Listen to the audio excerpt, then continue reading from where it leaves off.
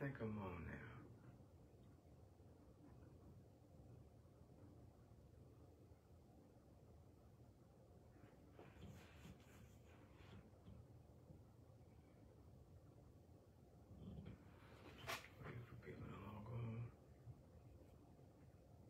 Okay, that's one, two. Hey, Miss Dunstan, how are you? Thank you for joining us tonight. I, I do apologize for the technical difficulties tonight. Um, I, I don't know exactly what happened, but we'll figure it out later. But thank you for joining with us tonight on Fourth Baptist uh, with our Bible study tonight. Um, I will be teaching um, this lesson tonight on Psalms 15. I'm going to pick up where Pastor has left off.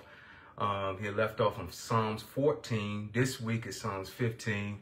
And for those who don't know who I am, I'm Reverend Derek Beamon, one of the associates, the youth, uh, young adult pastor there at the church. So we'll get started with a word of prayer and then we'll get right into the lesson. Amen. Dear Heavenly Father, we thank you, Lord God, for this time. We thank you, Lord God, for uh, allowing us to be in the land of the living. Lord, we give you the glory and honor and praise for it all, God, and we just give you Thanks for the activity of our limbs and articulations of our speech, God. We just give you the glory for it. Thank you for everything you have done. We thank you because uh, of uh, just just just heard in Psalms 15, God, uh, what a a godly person should look like. Uh, David has mentioned this in this psalm, Lord God, particularly. And God, we just give you the honor and glory for it all. And God, we, get, we thank you in Jesus' name we do pray. Let us all say, Amen. Well, Psalms 15 is tonight's lesson, scripture lesson, and thank you all for joining us once more. Keep cutting. Okay, all right. This keep it keeps cutting us off for some reason, but uh, David said in Psalms 15, I'm gonna read the scripture and then we're gonna just break each one of them down as I normally do. Uh, in Psalms 15, verse 1, Lord, who may abide in your tabernacle? Who may dwell in your holy hill? He who walks uprightly and works righteousness and speaks the truth in his heart. He who does not backbite with his tongue, nor does evil to his neighbor, nor does he take up a reproach against his friend, in whose eyes a vile person is despised, but he who honors those who fear the Lord. He who swears to his own hurt and does not change. He who does not put on, put, excuse me, put out his money at usury, nor does he take a bribe against the innocent. So he who does these things shall never be moved. In one sense, uh, David's question here is, is a figurative one. Uh, who may abide in your tabernacle? In other words, who can come to the tabernacle of God? Uh, this question was a, a general question, and the remainder of the text, as we just read, is specifically in answering this question. Uh, the reason for David's question is because he, he could not go beyond the veil of God, or go beyond the veil where the tabernacle of God is, because he was not a priest. And only the high priest can go beyond the veil once a year. Hebrew, Hebrews 9 and 7 says, but into the second part, the high priest went alone once a year, not without blood, which he offered for himself and for the people's sins committed in ignorance. See, the priest was only the, the, the, only one, the high priest was the only people who can go beyond the veil um, to see God where the tabernacle was, or the seat, or the mercy seat was. And so Jesus' death on the cross ripped that veil in two for all to have access. So we all can have access to God through Jesus Christ. So, so the word abide is also translated as uh, sojourn. It describes receiving the hospitality and of a tent dwelling host. So it also means to be under God's protection here as communion. As we mentioned communion, the Greek terminology for that word is koinonia, which we commune, come together to fellowship with one another. But in this case, in this case, abiding in God is communing with him, is to fellowship with him. And this is what uh, David was wanting. He wanted, he longed to fellowship with God. And once a Jew enters the home of another, they are under the care of their owner and, and, they are sheltered from all harm. And he wants, and all his wants, or he or she wants, are, are met. Every, all the needs that they have, everything is met. So needless to say, the guest of Jehovah is safe from their enemies and all of their needs are met. Amen. This is what David was desiring when he mentioned who can go or come to the tabernacle of God. You had to be a high priest to enter beyond the veil to be there. You had to be that. And in order to do that, you have to live. Now, the rest of the verses that we're going to, he's going to answer that question as we go along. But let's finish this, um, the, this first verse. Abide in your tabernacle. The tabernacle of God was the great tent of meeting, meeting uh, that God told Moses and Israel to build for him in Exodus 25 and 31. The seat of the, the ark in it, the, excuse me, the seat of the ark a symbol of God's presence. That's what the tabernacle was. It was a seat of the seat of the ark and a symbol of God's presence. So like I mentioned earlier in the tabernacle of God, could only the high priest go beyond the veil. And David's desire was to be in God's presence. David knew this, which is why he was named a man after God's own heart. He understood that in order to be in God's presence, the heart, the mind, and the life are in step with God's heart, mind, and life. This is what he knew. And, and so in order to, in order for us to, I remember I shared a devotion on Facebook and um, on my job. I sent a, a, a devotion out uh, every other day. And I mentioned in the devotion that that we shouldn't ask for faith. We should ask more of God, then God will increase our faith. And, and so when we ask for more of God, we spend we spend time with him, God will automatically increase our faith. We shouldn't ask for more faith. We should ask for more of God. And so this is what David is longing for. He is longing for more of God real quick, eschatology. Eschatology, we can see this word. Now we, we, we actually looking at the scripture in a more literal sense with David, but we can also see the eschatology part of this verse. And, and eschatology is, is the study of last things. And when it comes to theology, it's the study of last things. And uh, we can, we can talk about the end times, the rapture and heaven. Okay.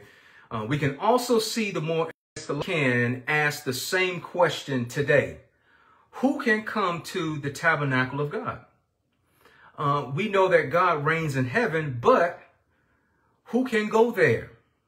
Who can go to heaven where God is? See, in the Old Testament, the Ark of the Covenant was the presence where God was, right? in order to be there in the presence of God, you had to be a high priest to go beyond that veil.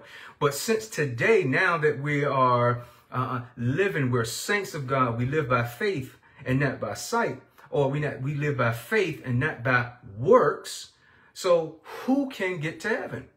And those who have accepted Jesus Christ as their Lord and Savior, we have to have the heart, the mind, and, the, and living the life of God to get there. Which is part of the sanctification process. When, when we're in sanctification, um, to be sanctified, there's, there's literally three things that I can remember right now, just only two, two parts of sanctification. We have a positional sanctification when we give our heart to God and God changes our position from a sinner to a saint. Okay, this is positional sanctification. Progressive sanctification is where we at right now. As we walking in Christ, we are being sanctified every day as we allow God to sanctify us. Uh, and you notice that it says as we allow God to sanctify us. God has, we have to allow him by obeying his Holy Spirit who gives us strength to be able to endure these times that we're living in today. Uh, he, he guides us and guides us to all truth. He tells us what things to come. The Holy Spirit is there to help us and to comfort us. And so, and so therefore, uh, uh, when we, when we think about that, when we think about that, uh, um, we're being sanctified. And the last, the third one, I, my memory, I, I, can't recall the third um, uh, term for sanctification is when we get to heaven and we're totally sanctified. Okay, that's where we're striving to. That's where we're trying to get where David is talking about is getting to heaven where we can be there with him. Now, now, let's go to the second part of verse 1. Who may dwell in your holy hill? David asks. Who can come to the hill of God's temple, in other words?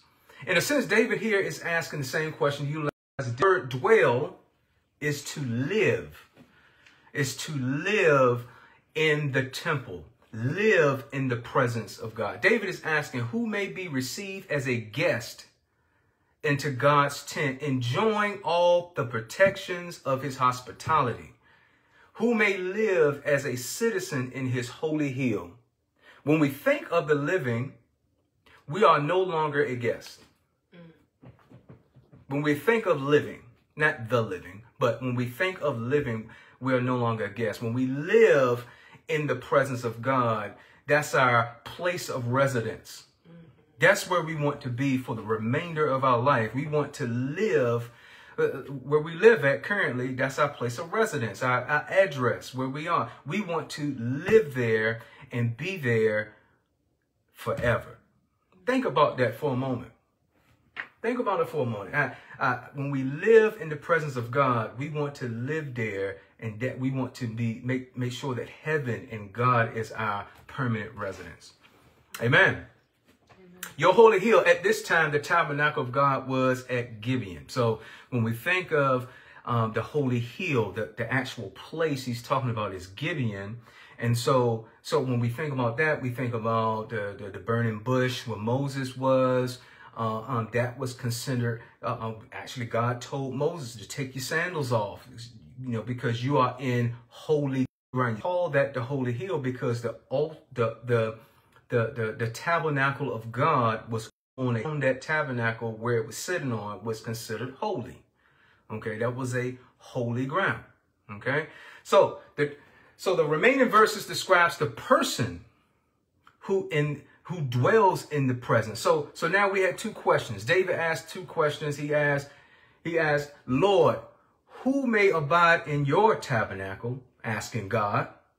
Who may dwell in your holy hill? David is asking God this. And so God answers. The, the Bible actually doesn't say that God told David this, but we can actually, uh, uh since David is a man after God's own heart, the Spirit of God has downloaded uh, this message to answer these that, those two. He says, he who walks uprightly and works righteousness and speaks the truth in his heart. He who does not backbite with his tongue, nor does evil to his neighbor, nor does he take up a reproach against his friend. Now we're gonna we're gonna break all of those down in a few minutes. But first we're gonna start start with he who walks uprightly. Now to walk uprightly is to live in a complete manner as to all parts of conduct uh, to live in God's path according to God's rules. That's to walk uprightly. So David is perspective. When we read the Bible, we cannot read it from a perspective of today, especially when we read the Old Testament. We have to take into account uh, um, the historical, the language, and the culture to properly interpret the Word of God. So, so for those who are listening, and jumping in on, on um, Facebook for the first time, joining us tonight Fourth Baptist who doesn't attend this church, or, and you may, may be experiencing and want to know who God is, I, I want to share with you because this is very important. You cannot pick this up and think that this is a book that you can read off the shelf. You have to understand when you read God's word, especially in the Old Testament, it's almost like you got to go back in time to understand the historical, the language, and the culture of what they do. Because if you don't, uh, uh, you will miss out on the whole message that, that, that the author is, the intent of the author. You will miss out on that. And so, so David, when we look at this, David, you have to think about David is speaking in his terms. He's speaking in his language. He's speaking according to his culture. And the old covenant gave an, uh, an important place to sacrifice and atone through bloods. It also based uh, blessing and cursing on obedience. And the, dis- the disobedience could not expect blessing, including the blessing of God's presence. So he, so he, he, he's sharing that, hey, you get to walk upright in, in order to to have their sins forgiven, they had to kill an animal. They had to kill an animal uh, for their sins. Uh, um, without the shedding of blood, there will be no remission of sins. And so that came from the Old Testament because they had to share their blood, uh, uh the blood of an of an ox or the blood of a goat. They had to share it, shed the blood of that, and pour it all over the altar just to have their sins forgiven. But today we can see uh, Jesus, if, it, if Jesus hasn't shared his blood, uh, if Jesus didn't share his blood, there will be no remission of sin, of our sin today. And see, he is the sacrifice. Back then in the Old Testament, the animals were the sacrifice. Amen. So the new covenant through the finished work of Jesus on the cross gives us the different ground of blessing and relationship with God. So having faith rather than performance is the basis for a blessing. So all we have to do now is to have faith in Jesus Christ, believe in him. Uh, we all know the scripture, John 3.16, we not so love the world that he and whosoever believeth in him shall not perish, but have everlasting life. So we know that Jesus uh, is, when we have faith in him, right? Give, have faith in him in that performance, is the blessing, is the basis for our blessing. Amen. Right, the work of righteousness. When David mentioned the work of righteousness is to do those things which are consistent with the character of God in a godly walk. Uh, the old covenant, uh, a, a, righteous walk was the precondition for uh, fellowship with God. And under the new covenant is a righteous walk is is the result of fellowship with God founded on faith. First John 1 and 6 states, if we say that we have fellowship with him and walk in darkness, we lie and do not practice the truth. Okay, so we have to walk out. We have to walk, do this walk, do have this godly walk, not just have have lip service about it. We have to have we have to walk it out. Amen. Now, to speak truth in his heart, which are conformity with our walk and work. And David here understood that an upright and righteous life is known by the way someone speaks. Jesus said in Matthew 12 and 34, out of the abundance of the heart, the mouth speaks, David speaks of is to be in our heart, not lip service. Okay. Uh, it is, it is to come from the center of our being. I believe I spoke upon, I, I believe I spoke this or preached this message regarding the heart, the man. I believe the title, title of the message was uh, um, that the heart of man is the soul of man. Most people believe due to we believe in Christ being, or believe in God being a tri being, being God the Father, God the Son, God the Spirit, that that we as humans are made as tri beings. Also, that flesh, soul, and spirit. Okay. Some people take the that's a tri, that's trichotomy, But others think that the soul and spirit are the same, which the flesh, and then you got soul and spirit, which is a dichotomy. Okay, so so therefore, uh, um, I like to, uh, uh, I believe in the first part, which is the trichotomy. Uh, I believe that we are made up in three parts. Uh, our spirit connects to God. Our soul is where our hearts and our, our, our desire comes in, uh, where the flesh that connects us to the earth. Amen. So we have the flesh connects us to the earth. Our spirit connects us to God. And then our soul is where, which we call the heart of man. And so this is where David's saying in our heart, in our mind, not just lip service, but in our heart, uh, um, our soul is where the seat of our desires are. And we should guard our heart at all the times, at all times where we see what we hear, we should guard it because if we don't, uh, what enters can alter our perspective of God and how we how we would see the world around us. Amen.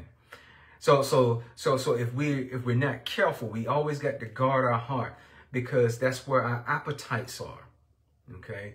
And and that's what needs saving, right? Our flesh can't be saved. Our soul can or, or be or could be cleansed. Our soul can be cleansed, but our spirit needs to be saved. Amen. So so I, I so now that we have to understand that concept, there's a concept of thought that we teach in the secular world. And on my job, we teach um, um, a course, and in that course, there's a there's three B's, which is believe, behave, become. And in that, uh, we teach this secular model thinking is a secular thinking model that we're training lead mindset in the pursuit of happiness. Okay, so when we change in their mindset in the pursuit of happiness, um, we see the believe, behave, and become. However, when I'm teaching this to leaders, and since being a man of God, I can see the spiritual side of this. I can see the spiritual and and how it can work to our favor. See, believing is a source of change. Mm-hmm. This is what we teach in the secular, secular world, that believing is a source of change. And if you believe it, it, it starts there. It starts with believing, just like we believe in Jesus Christ. It starts there with the belief. That's why if you believe in him, in John 3.16 states, uh, you will have eternal life. So you have to believe in God. So believe is the source of change. And when we believe in God and his word, and his word and trust his word, it changes us. It changes us internally by cleansing our heart, right? It cleanses our heart uh, um, to the point where outwardly we start to behave different. Mm. Yeah, yeah, yeah, yeah. You see that? See how that works? See, so when we believe in God, it God's word will cleanse our heart to where we can start behaving differently.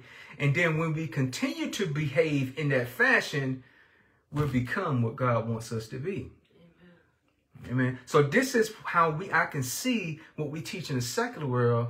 Uh, um, I can see that for an advantage for believers, how we can believe, which is the source of change, as we believe and believe in God, believe in his word, it changes us internally with our heart.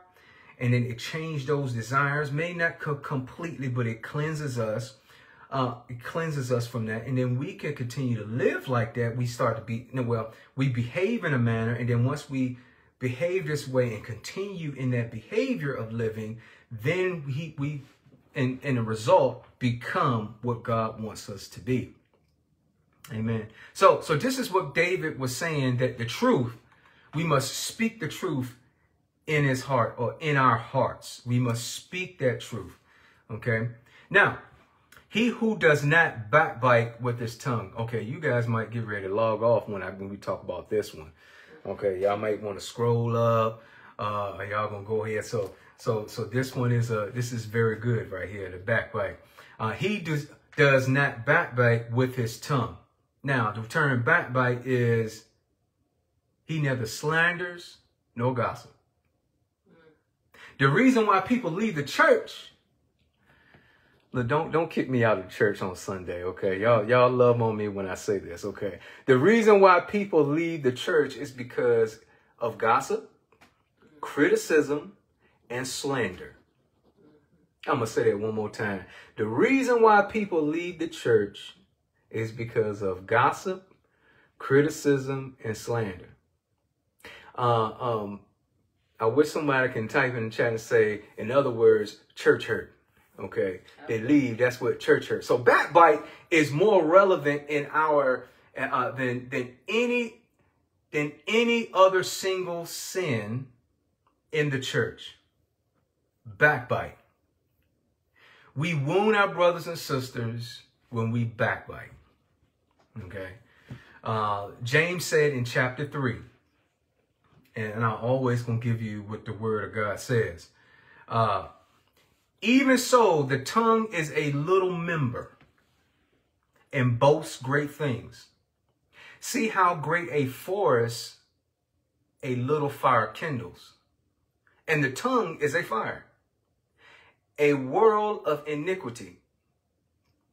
The tongue is so is so set among our members that it defiles the whole the course of nature. And it is set on fire by hell.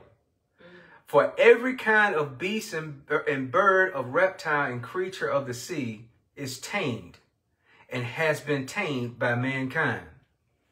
But no man can tame the tongue. It is an unruly evil full of deadly poison. Yeah, yeah, we that's this is why we need the Holy Spirit to help us to tame our tongue, right?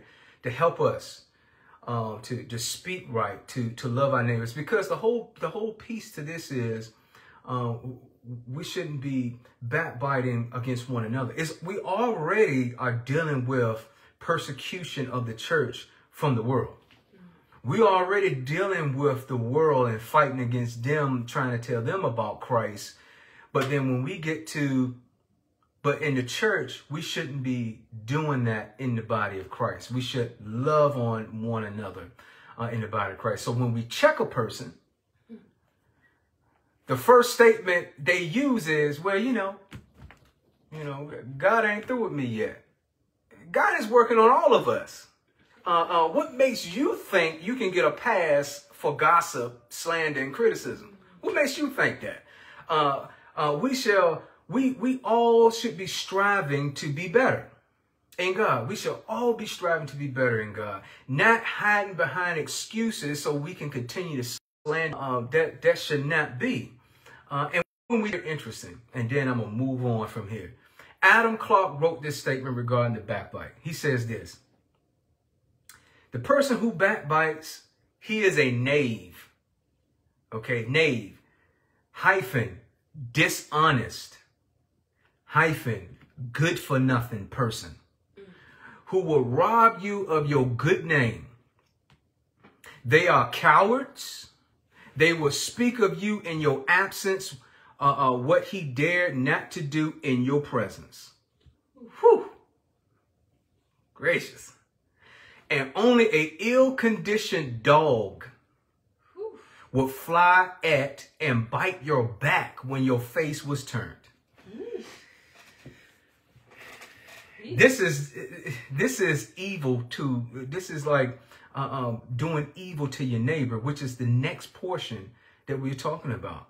Uh, uh, uh, so so if you ain't got look if you ain't got the courage to stand there and say something to the person's face, uh, uh, don't don't do the backbiting because you're gonna. It, it's like it, like my like Adam Clarke says, he said you're they are cowards, and and you'll speak of a person in their absence versus being in their presence, and you're like a, a ill-conditioned dog. You know, you, that means you're you're happy when when you're looking at and the dog's looking at you. It, it's it's all great, and but as soon as you turn your back, the dog bites you on your heel or it bites you on your calf muscle or whatever. It bites you and because because because technically you're no longer a threat to the dog. Facing the dog, you're a threat, but when you turn your back, you're no longer a threat. That's why We can't shoot people in the back and in a in, in America because when a person turns away, that's what that's what he's saying. On a backbiting, okay? Backbiting will uh, we'll call some church hurt. Okay, moving on. Nor does evil to his neighbor, nor does he take up a reproach against his friend. So David also knew that righteousness is expressed in the way we treat one another. He knew this. Again, we talking about a man after God's own heart here. Okay. The word reproach means to disgrace or shame. Reproach. To disgrace or shame. We should not disgrace or shame our brethren when they commit a sin. Miss Juliet said, watch it back. okay. Uh, we should not disgrace or shame our brethren when they commit a sin. Galatians 6 and 1 states, see, Paul was, when he wrote these 13 letters in the New Testament to the saints in these areas in Corinth, in Corinth, in Galatia, in, uh, uh, uh, in Thessalonica, in Rome, he was writing to them to, to kind of set order for the saints and teaching them how they should behave in the church or with the body. And he shared with them in Galatia, he said, Brethren, if a man is overtaken in any trespass, you who are spiritual, restore such a one in a spirit of gentleness, considering yourselves least you also be tempted. Mm. So, so, so we have to be careful uh, uh, um, when we see our brother fall into sin. We have to restore them. One of the things I've noticed in church today, we do we do great at shaming and pointing the finger at somebody else's sin, but we we lack restoring the brother back to God. We lack that. We lack the love and the luster to bring the person back to God, to restore them uh, um, to God. Amen. Uh, case in point, here it is. Here's an example from the Bible. Last week, I sent a devotion. I sent another one regarding the resurrected Christ when he was cooking breakfast uh, uh, uh, with the disciples in John chapter 21. Now, prior to Jesus' crucifixion, G Peter denied Christ three times. He denied him three times. When people realized that he was one of the ones hanging around uh, or following Jesus. I recall in scripture there was nowhere in scripture where Jesus, I'm trying to reconnect here. I recall there was nowhere in scripture where Jesus shamed him for doing that. What he did do was tell them, hey, drop your nets on the other side of the ship on the side of the boat and catch you some fish over there. Matter of fact, and when you catch it, Bring it all over here to us so we can have breakfast.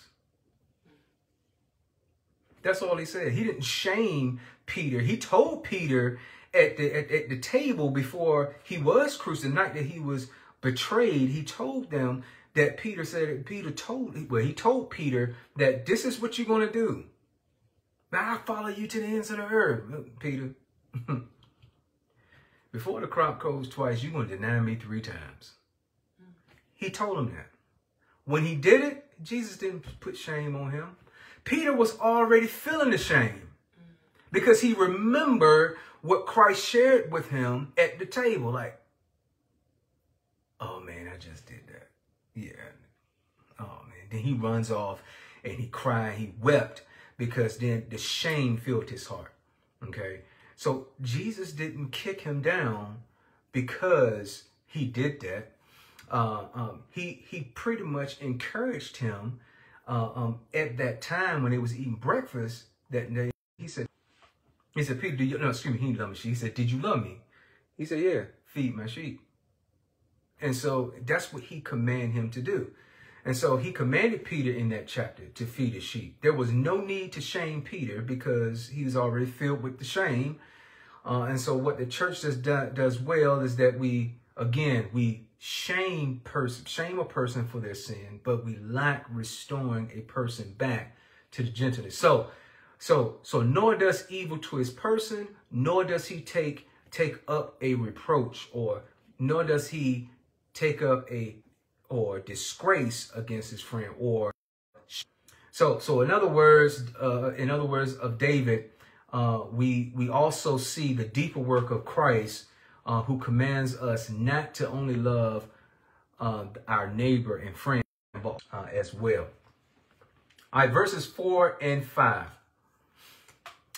uh, this this really is going to so so let me back up a little bit. The what we just read those verses is regarding our brothers in Christ, our friends and neighbors. So two and three are regarding how we interact with the character among our friends and neighbors. Okay. Four and five is a character among difficult people. Mm.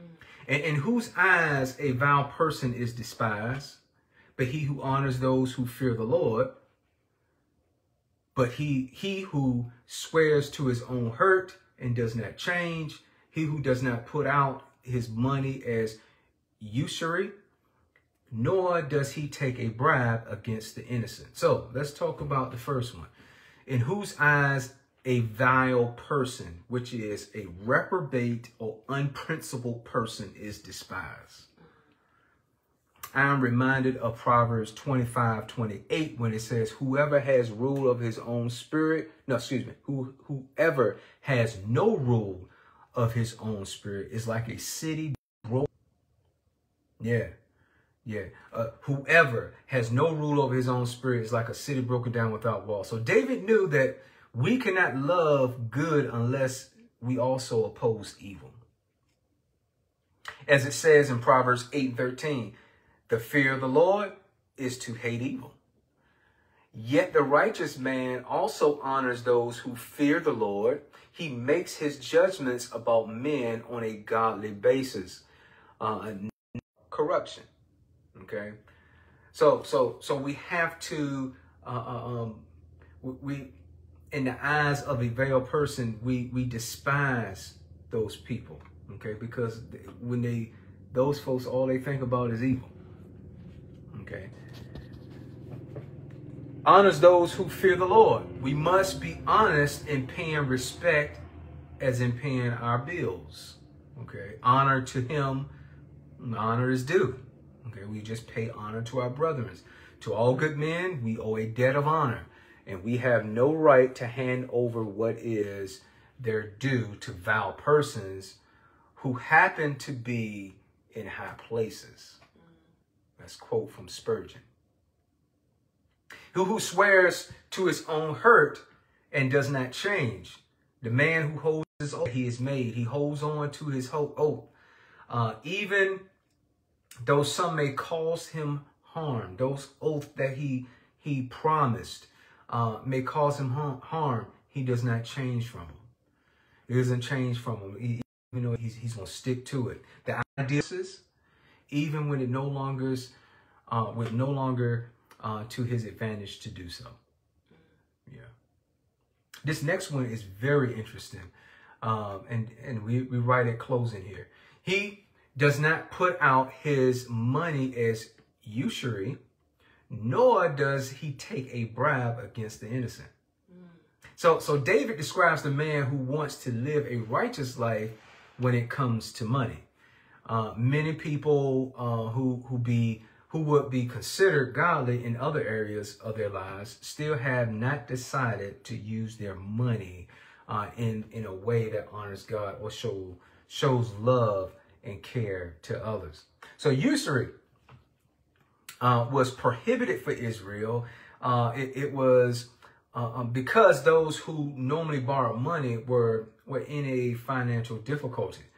Um, this pretty much saying that within the body of, of the Jews, when they get loans, um, the person couldn't charge them interest. They couldn't charge them interest within the Jew Jewish community. If they outside of the Jewish community, they could charge them interest because they're like Gentiles. So they can charge them uh, interest. But if you're in the body of the Jews, you couldn't charge each other interest because uh, um, because the person couldn't afford it. It was already, they come to them to get a loan for financial difficulty because they couldn't afford it. So you couldn't charge them interest. So it was but to, to, it was law to, to charge interest. Interest. And so the rich and the powerful was warned by prophets not to exploit the poor. Uh, uh, uh, we charge more money. Uh, um, we can see it today. Uh, the world will charge, uh, will try to exploit the poor. Well, well, well, in the Jewish culture, the the rich and the powerful, the prophets warned them, "Hey, rich, powerful, you can't exploit the poor just because you got it all." Um, technically, it should be used in a way to help them um, who are poor. Um, but that is the Jewish culture. So, so this is why he he mentioned that he who does not put out his money at usury, nor does he take a bribe against the innocent, because this is something that they did. But it was totally against the law. And then lastly, we come to the last verse and the last portion of, of five is he who does these things should never be moved. Uh, the blessing that comes from this character. So, so the idea behind shall never be moved is that this righteous one will be a guest in the tent of God forever. The New Testament words we could express it like it's like and the world is passing away and the lust of it, but he does he who does the will of God mm-hmm. abides forever. That's John, First John 2, verse 17. And so that's why you, you won't be moved. When we do the will of God, we will, we should not be moved because we're doing the, the, the will of God. God will protect us because we're in his presence. Uh, that's where we want to be. That's where David wants to be. He longs to be there, but he couldn't at that time because the high priest was the only ones to go beyond the veil. So he was like, oh, well, who can go there? God, God, who can be in your presence? Who really? Who can? Okay. So in summary, David's concern here is with the totality of life determined by the character of God. Uh, this includes right speech with our neighbor and integrity. So oaths are to stand, money, the innocent are to to be protected. We, we see these standards fulfilled in Christ and then fulfilled in us who abide in him and walk not according to the flesh, but according to the spirit, Romans 8, 4. Uh, Jesus is the one in whom there is no sin, First Peter 2, 22. And he is the one who manifests the righteousness of God first for us and second in us. Second Peter 2 and 24.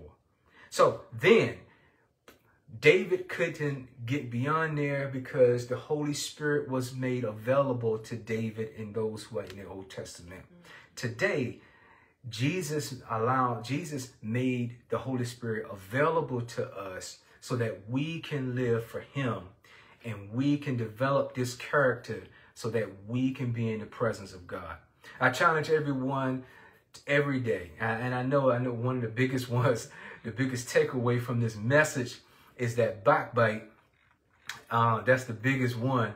Uh, I thought it was the biggest uh, takeaway from this message myself um, because we we lack um, we, we we like to do a lot of gossip and criticism and slander uh, uh, we see it on our jobs. We see it in our in our families. We see it all the time, and and and due to the fact that um, it, we we we pass it over as something that's not. Uh, it's just something minute, but um, but God is not looking at it as a small thing. This is just as this is much of a sin as as something as as someone watching pornography or um, someone who is uh, um, who, who is abusing alcohol and uh, um, someone who is fornicating or committing adultery. See, we look at all of those as huge, uh, big sin, but this one right here, the backbite part, is a, is a sin where where we, we do every day and don't even realize it because we're so comfortable with that. Mm-hmm. And so, so, so we have to allow God to retrain our hearts and cleanse our hearts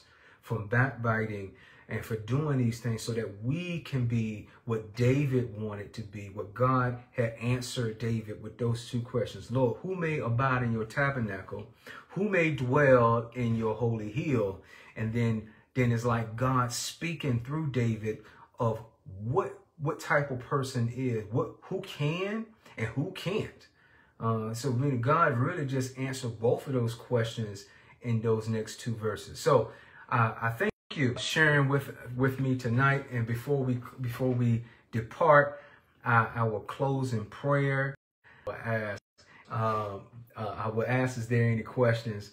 But um, but since we're on live tonight, um, we'll just open up and I'll just close in prayer, and then I'll give you back the rest of your evening. Amen. Amen. Let us pray. Dear Heavenly Father, we thank you for this time, God. We give you the glory and honor and praise for it. God, we just learned about Psalms 15, about the character of a man. That David really, it was a psalm of David, and David really wanted to be in your presence. And so, God, he asked those two questions Who can dwell in your tabernacle? Who can dwell? Who can come to your holy hill? And God, we realize and we just dissect the verses in this chapter and, and notice that you you provided David with uh, uh, who who who can't. God help us to be exactly what you said to David regarding of who can be in your presence. God, help us to live right, to walk uprightly, to speak the truth in our heart, God. Help us to do those things, God, and to be a light and beacon amongst others. Uh, um, the only Jesus that people is going to see is going to see in us. And so, God, help us to be that that light that to show Jesus from amongst us, Lord. Cleanse our hearts, Lord God. Uh, um, uh, um, we understand some of us will use that term that I'm a work in progress, God, and, I, and you know, you know, God ain't you ain't through with me yet. And so, God, help us uh, um, to be better. Uh, uh, once we learn and understand your word, Lord, we we we're pretty much held accountable by your Spirit uh, to do right. And so, God, help us walk upright, talk right, uh, um, and, and do this, Lord God, for so that others can be influenced by you through us. And so, God, as we leave this place but not your presence, God, we thank you for this lesson tonight. We thank you for everyone that chimed in um, to, to watch and to hear the word of God being taught tonight in Psalms 15. And we pray, Lord God, that you would just bless them, Bless them from the crown of their head to the soles of their feet. Bless our pastor that was not being able to, to do this tonight. But God, we just give you the glory for him and his wife. Thank you for the rest of the Fourth Baptist Church. Uh, uh, those who are who have supported this event. And God, we just give you the glory and honor for all the things you, you have done. Thank you for life, health, and strength. And we give you the praise and honor. We ask all these things in your son Jesus' name we pray. Amen. Amen. Thank you guys for for again for sharing with us tonight. And God bless each and every one of you. And until we meet again, God bless you.